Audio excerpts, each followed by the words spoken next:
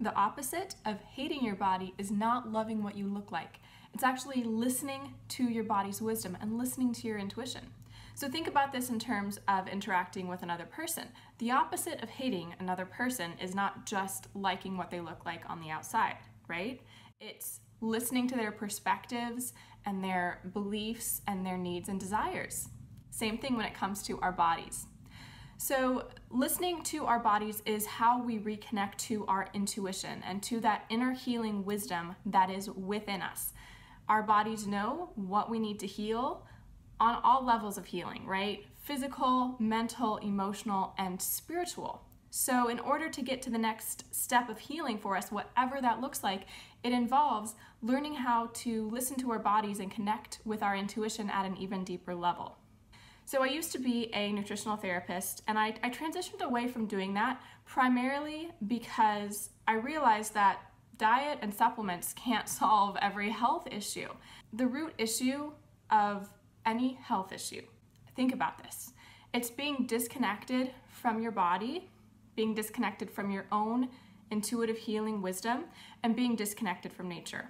And so this is why I created a system called Body Connection Coaching and practice that now with my clients because I really wanted to address that deeper level of healing that necessitates everyone getting in touch with their own inner wisdom. And um, you know those kind of healing protocols aren't found in diet books. They're not found in supplemental protocols. They're only found within you.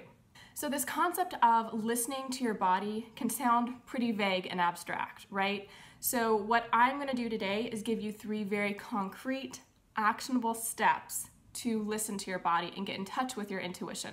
Now, something to consider is that we all have different learning styles. This means we all have ways that we best process and take in information.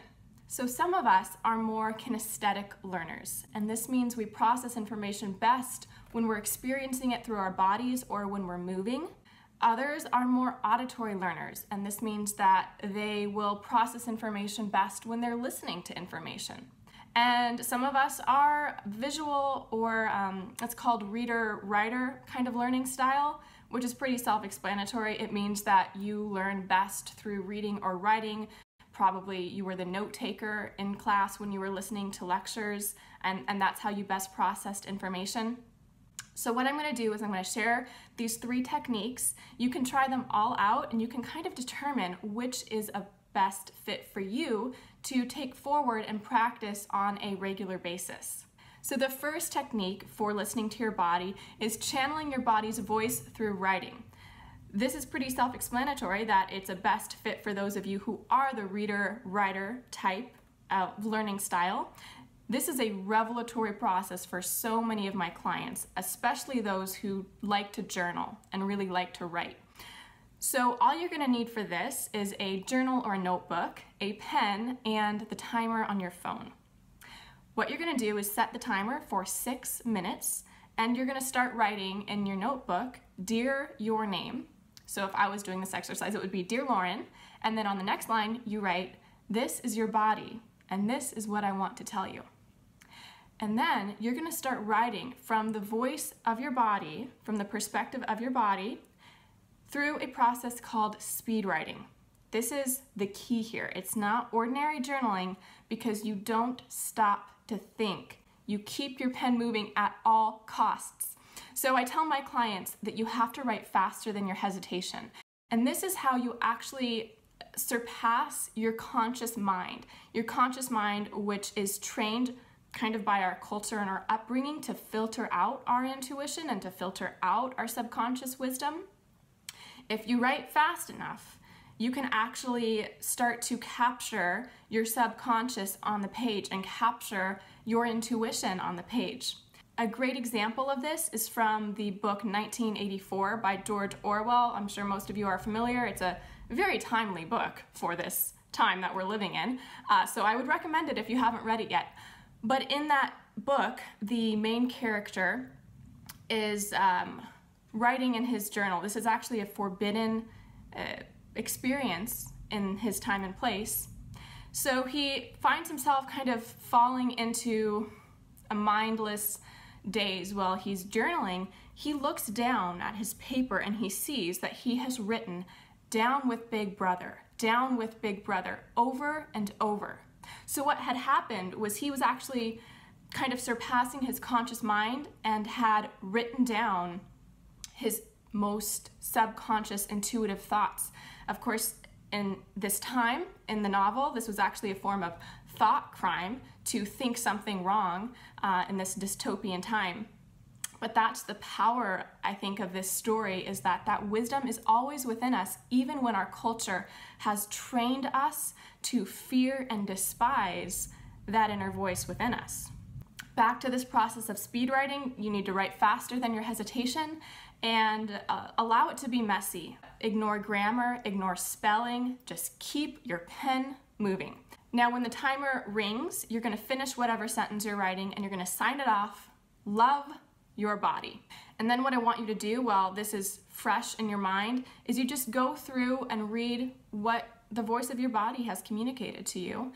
What you're going to find is probably some of it is messy and nonsensical, at least this is my own experience and with my clients, uh, but some of it is really powerful, rich wisdom. And if there's anything that stands out to you on the page, I want you to underline it, you can circle it or put a star next to it uh, while this is fresh in your mind.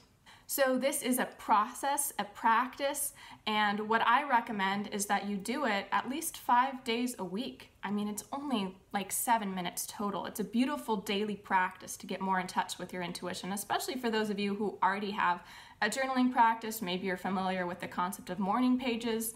Um, incorporating this practice is beautiful. Uh, and when I'm working with my clients, I actually have them go through 30 days of similar speed writing prompts that I give them so that they really build up that neural plasticity and that uh, brain patterning for accessing their intuition this way.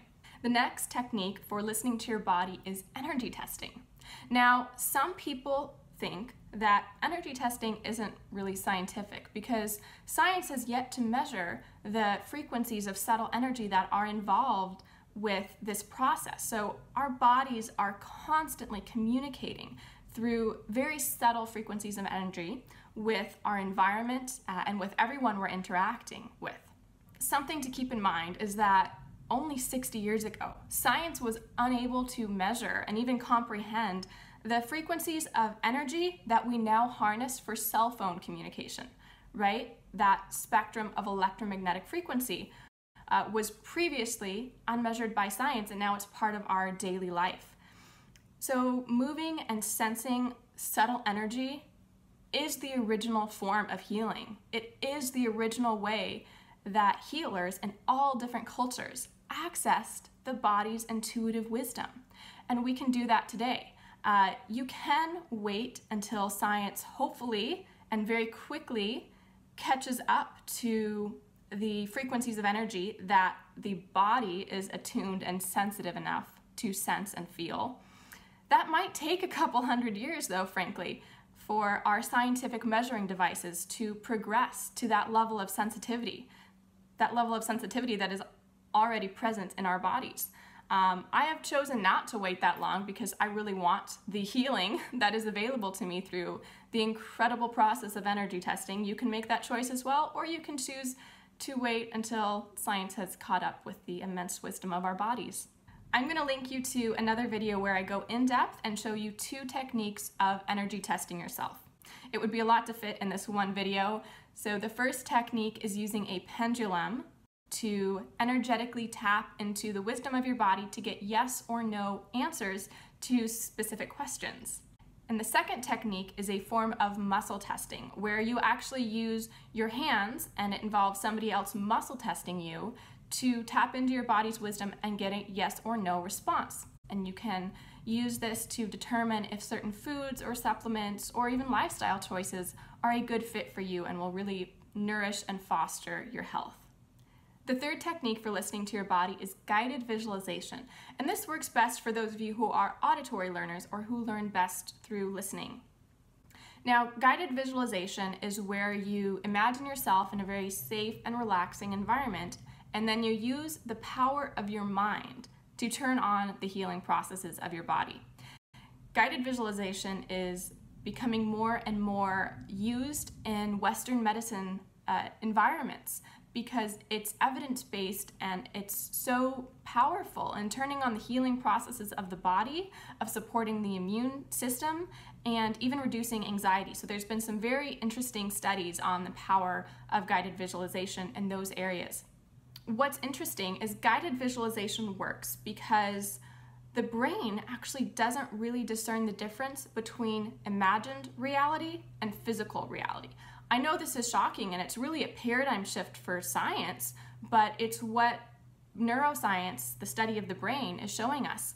So, if you're interested in this, there's a great book by Dr. Norman Doidge called The Brain That Changes Itself. You can look up that. One of the studies that he talks about in this book is where there were two groups of participants, and one played uh, a finger exercise on a piano keyboard. A second group of participants just imagined playing that simple finger exercise on a keyboard. And what they found was at the end of this study, the first group and the second group had developed the same neuroplasticity, which means the same wiring in their brain to trigger the muscles that correlate to the finger exercise. Isn't that crazy? Imagining it developed their brain in the same way as actually physically doing the exercise. So, through guided visualization, we can really take advantage of this phenomena. Now, I create specific guided visualizations for my clients that allow them to turn up the volume on their intuition and really get in touch with the wisdom of their bodies, especially around healing their relationship with food and intuitive eating. Uh, that's where I tend to specialize with my clients. Um, and what I've done is I've also created a free guided visualization for you specifically on getting more in touch with your intuition and listening to your body's wisdom. So what you can do is go to empoweredsustenance.com slash body dash listening. I will put the link on the screen and below this video so you can find it easily. And you can sign up for uh, this free resource that will have instructions for everything that I've talked about in this video. Instructions for the writing exercise, the video on the two ways to muscle test yourself, and this free guided visualization that will allow you to turn up the volume on your intuition. So I hope that resource is helpful to you, and I will see you in the next video. Bye-bye.